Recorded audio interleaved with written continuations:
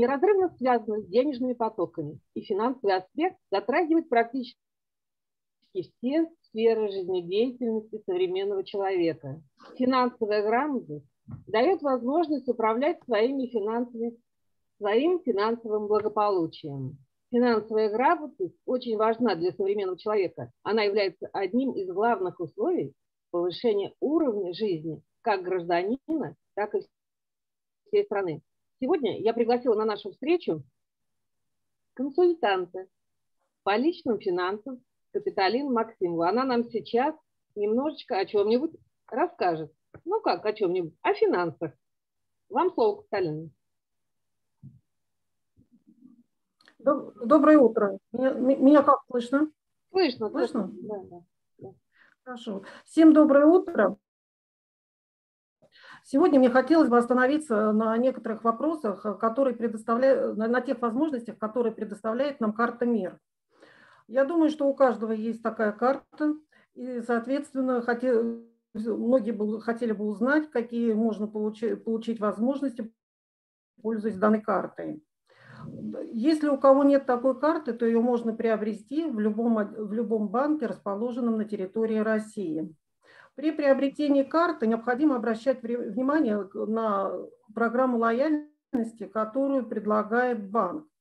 У каждого банка своя программа лояльности.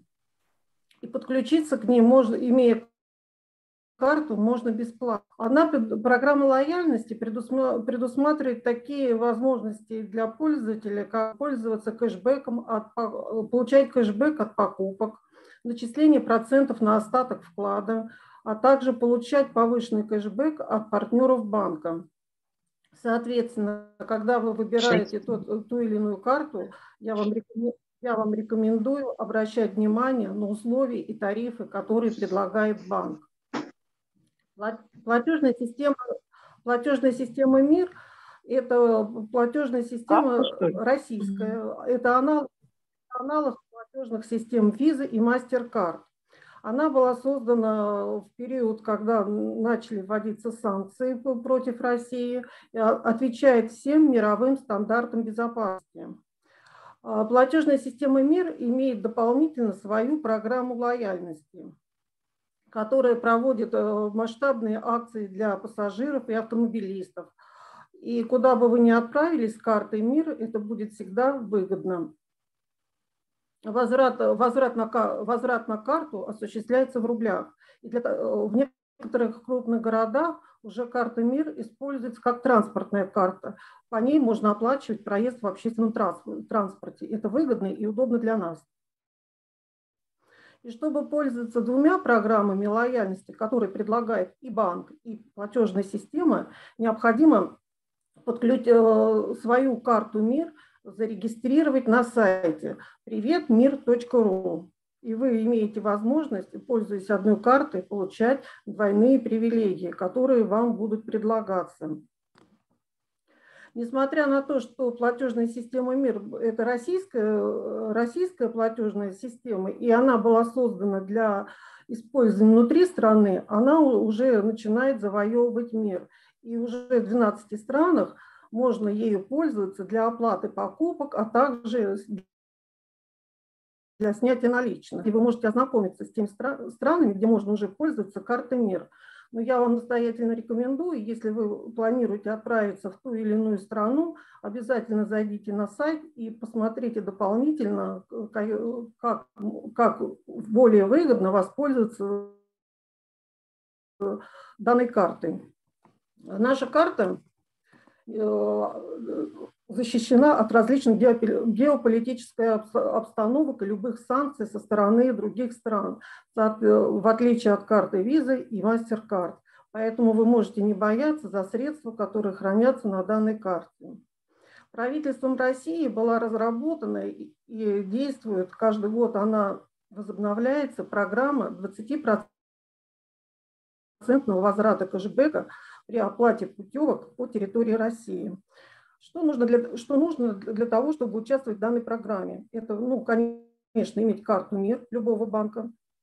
Затем необходимо зарегистрироваться в программе лояльности приветмир.ру и, и зайти на сайт мирпутешествий.рф, э, изучить условия и правила участия в акции, выбрать то направление, которое, в которое вы хотите отправиться, оплатить карты МИР онлайн путевку, и вы сможете получить 20%, 20% возврата от стоимости вашей путевки.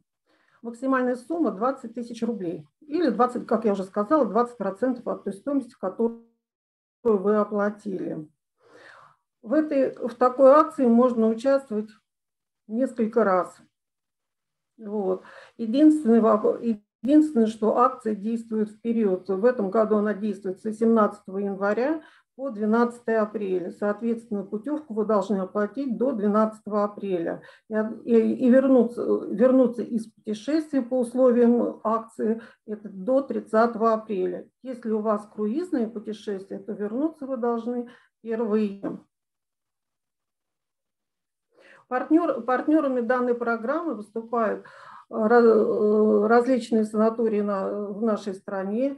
Также можно приобрести проживание в отеле, от, ну, в отеле, в гостинице от двух суток. Детские, детские лагеря участвуют в данной программе, а также различные туроператоры. Территория покрытия вся Россия. Можно, можно приобрести даже путевки на популярные направления. Э, карты э, действуют, э, вернее, акции действуют по России, как я сказала, а также в Крыму и в Севастополе. Но, к сожалению, есть и, не, есть и недостатки в использовании карты МИР, которые я вам сейчас скажу. Это ограничение при оплате за границей, как я сказала, что карта только принимается пока в 12 странах мира – также единственная валюта счета – это у нас рубль. И, к сожалению, не все интернет-магазины при оплате онлайн принимают карту МИР. Ольга Анатольевна, можно следующий слайд?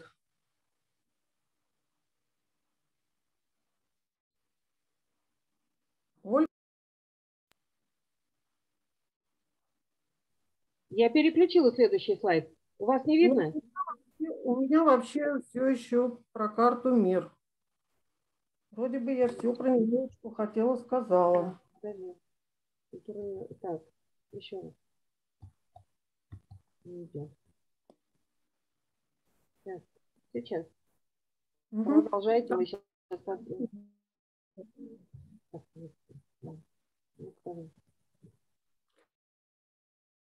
Что еще хотелось бы сказать про путешествия? Если кого-то это очень сильно интересует, то я советую торопиться, потому что помимо времени, то, что акция действует по 12 апреля, она еще и ограничена э, денежными средствами. То есть под эту акцию выделяется, правительством выделяется определенная сумма. И как только она закончится, ну, скорее всего, уже кэшбэк начисляться не будет.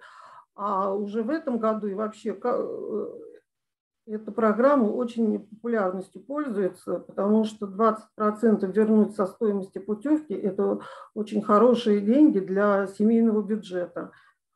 Ольга Анатольевна, не, не этот слайд, а второй про пушкинскую карту я хотела рассказать. Да, если у кого-то возникают вопросы, вы, пожалуйста, как бы фиксируйте, а в конце я на них отвечу. Значит, Пушкинская, э, несколько слов хотелось бы рассказать про Пушкинскую карту, так как это новый, это новый национальный проект, он был запущен 1 сентября прошлого года. Это проект, который э, совместный, совместный проект Министерства культуры и Минцифры России. Цель проекта – это сделать, чтобы наша молодежь могла посещать различные культурные мероприятия за счет государства. Участниками проекта могут быть молодежь в возрасте от 14 до 22 лет, являющиеся гражданами Российской Федерации. Номинал карты, который э, предоставляется э, с 1 января 2022 года, составляет 5000 рублей, и она ежегодно пополняется.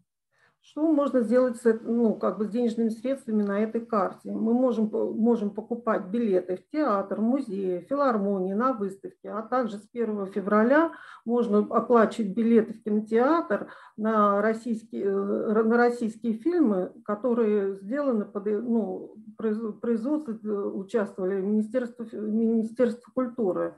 То есть не все подряд, а какие-то отдельные фильмы.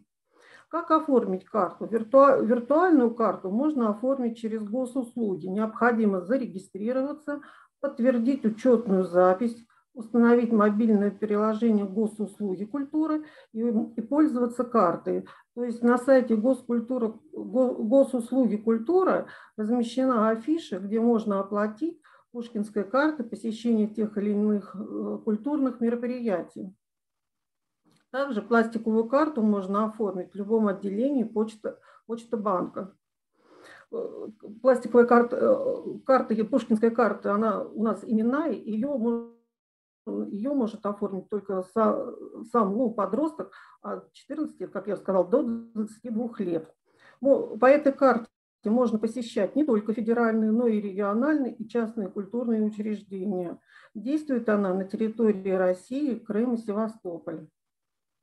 Билеты можно оплачивать как онлайн, так и в кассе.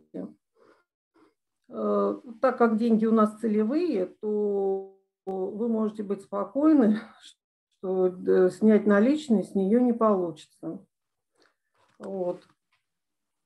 Так, Ольга Анатольевна, давайте тогда следующий слайд. Ну и немного хотелось бы несколько слов мне остановиться на налогах.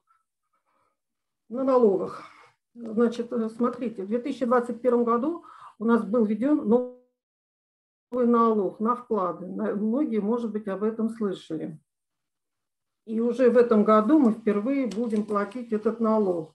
Кого он касается? Э, он касается тех, кто хранит свои денежные средства в банках. И мне бы хотелось остановиться на, на некоторых моментах, которые ну, необходимо знать, э, чтобы быть в курсе, скажем так. Налоговая ставка составляет 13%. Но смотрите, если ваш доход за 2021 год со, вклада, со вкладов составит более 5 миллионов рублей, то налоговая ставка будет уже 15%. Налог взимается с дохода, полученного в 2021 году и со вкладов, превышающих 1 миллион рублей. Сумма, сумма с дохода, которая освобождается от налога, привязана к ключевой ставке Центрального банка, которая действует на 1 января. Например, на 1 января 2021 года ставка составляла 4,25, и, соответственно, сумма в размере 42 500 освобождается от налога.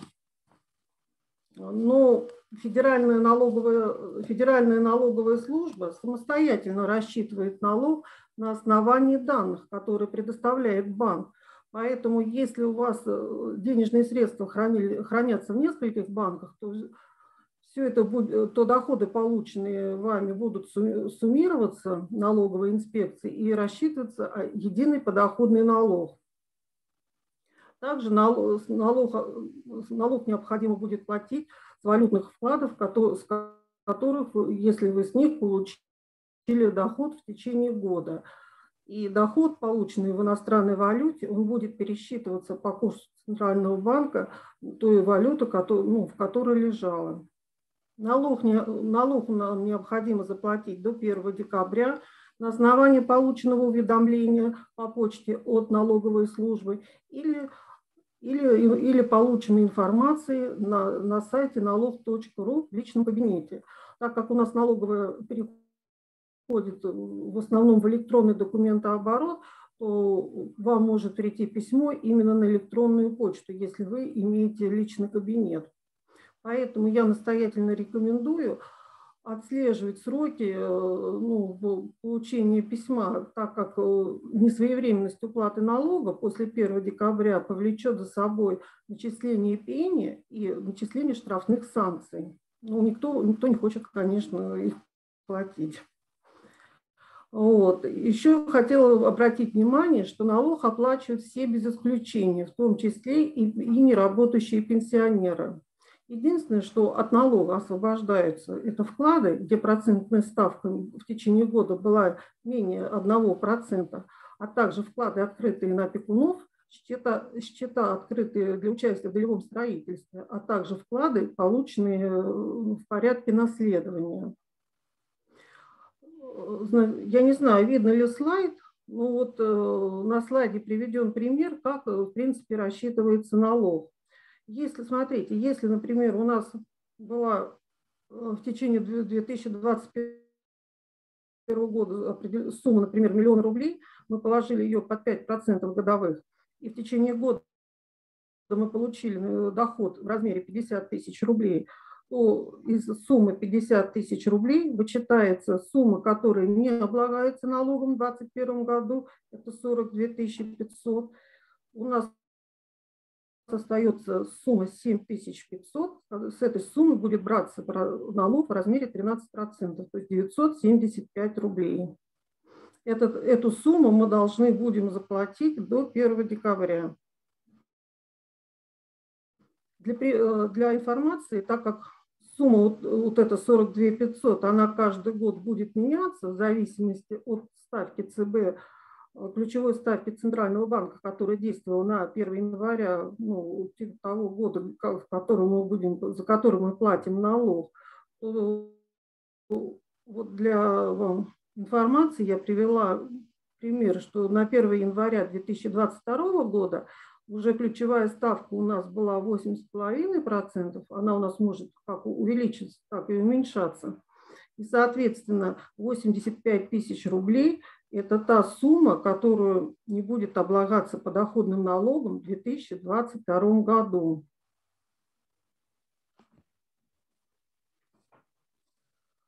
Так, Ольга Анатольевна, давайте на следующий слайд.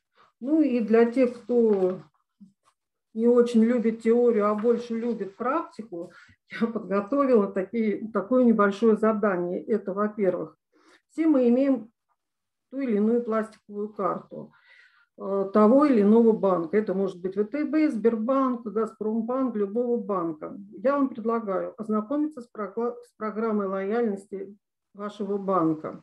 Если вы ей еще не пользуетесь, то активно начать ею пользоваться. Вы увидите, какие плюшки и преференции можете получить, используя все эти возможности.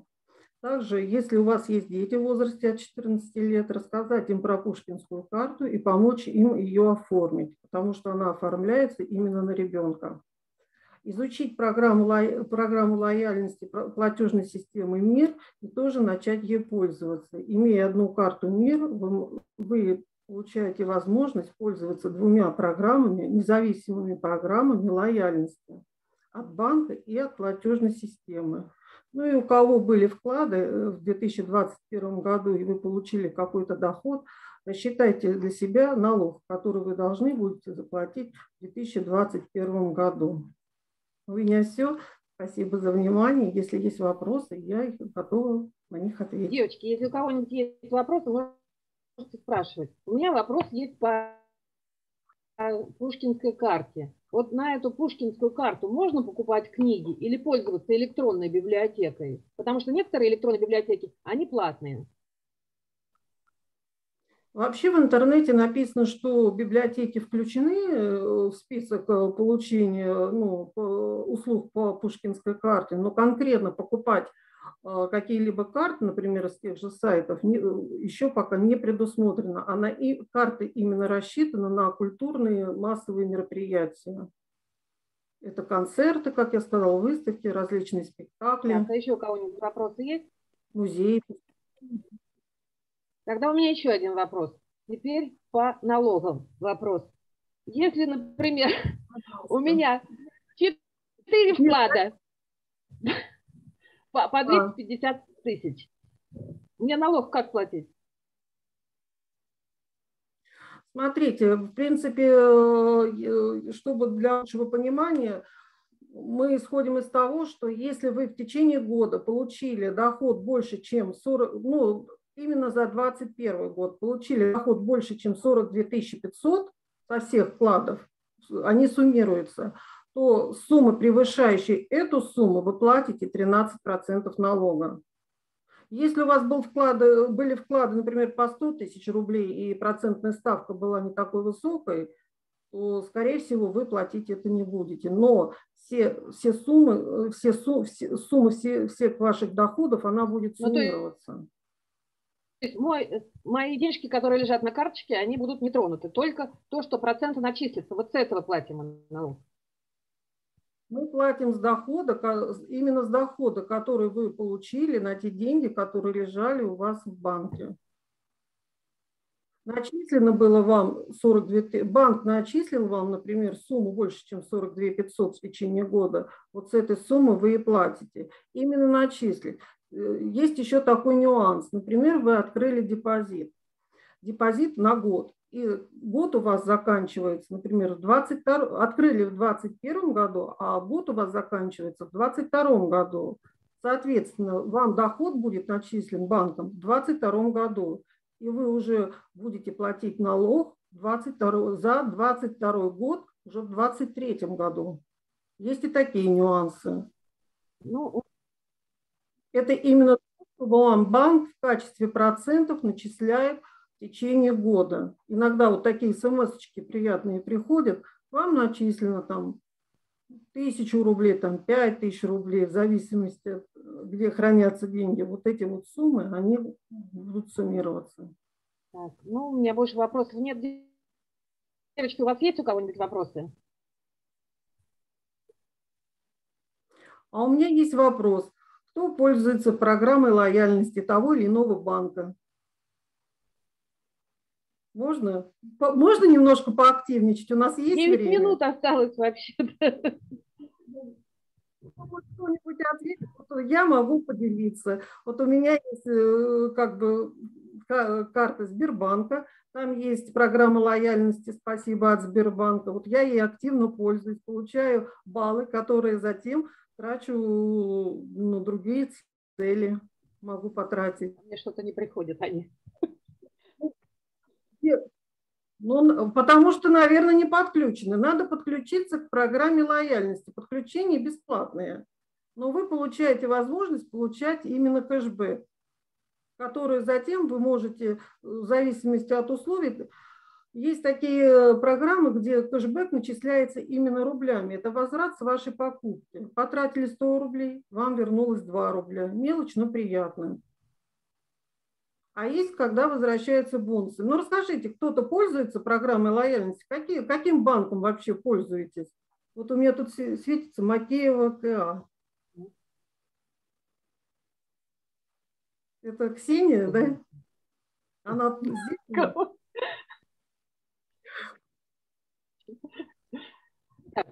Не пользуетесь, ну, я думаю, да? что все равно кто-то пользуется, просто сейчас сразу не сообразит. Наверное, все-таки пользуемся. Да. Ну, большое ну, спасибо. Надеюсь, что информация вам полезна тогда, если не пользуетесь. Наше мероприятие считается закрытым. Спасибо всем большое. Спасибо, девочки.